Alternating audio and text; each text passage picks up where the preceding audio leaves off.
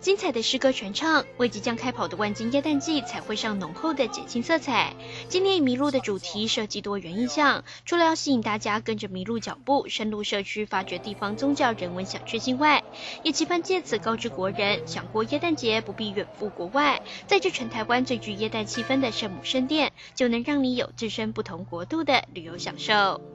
我们万金能够传承到现在，我们非常谢谢。历任的神父在这里的经营，我们保留这样的殿堂，保留这样子的聚落，我们不要到国外去就可能够感受到了。所以县政府这几年官传处的努力，希望大家不必到远到国外，到我们这个地方的小聚落来探访，来感受到。教堂之美，感受到氛围的温馨。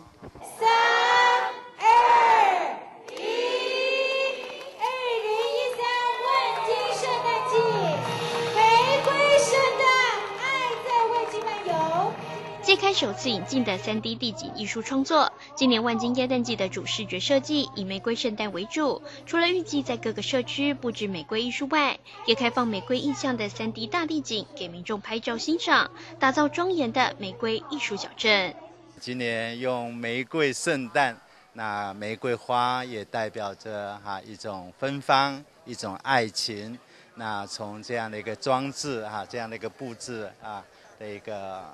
啊的一个表达啊，我们一起来感谢耶稣基督带来的爱，带来的芬芳和美丽。因为这样的很多很多元素加起来之后，大家就可以知道，当很多县市都在圣诞点灯，对不对？很多的东西都是人为做出来的，只有万金不一样。哪里不一样？这是在地的人文，在地的宗教意涵所做出来的万金圣诞季。二零一三屏东万金耶诞季从十一月三十点灯到节日当天为止，将启动一连串的惊喜体验，包含全方位的万金主题式小旅行，让你吃喝玩乐在万金，享受地方人文艺术、宗教信仰的独特魅力，感受浓厚的欢乐耶诞氛围。屏东新闻媒体相此采访报道。